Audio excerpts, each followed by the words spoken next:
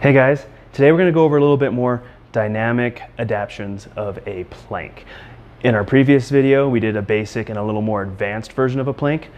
All of them are still doing the same thing. We're looking at good core stability. You want to get a nice stiff core, good engagement. If you are a little unfamiliar how to do that, highly recommend going to the wall bug video, getting an idea of how to engage your core before you do something like this. Let's dive in. Good plank, arms are underneath the shoulders. I want my fingers spread nice and wide and fingers long. This protects your wrist. You're on the outside of your wrist, it's just gonna hurt. You want the weight on the inside, fingers nice and long. We come here into our plank, and like I said, I always like to use a yoga block. This keeps me from cheating. And then if you want to get a little more dynamic, oh, lost it. Like I said, keeps you from cheating. Come in here, nice and tall. And this is kind of combining a beast crawl with a plank. I'm moving one hand at a time, followed by a leg, and you can go back. Really good core engagement as you learn how to disassociate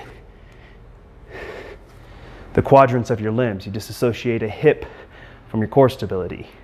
Very tricky. Nice little change from a plank. Continuing on that trend, same thing. Have a kettlebell here. Get into your plank. Again, fingers nice and long and tall. And then all you're going to do is just drag the kettlebell. Bring it around. Other side. Drag. Bring it around.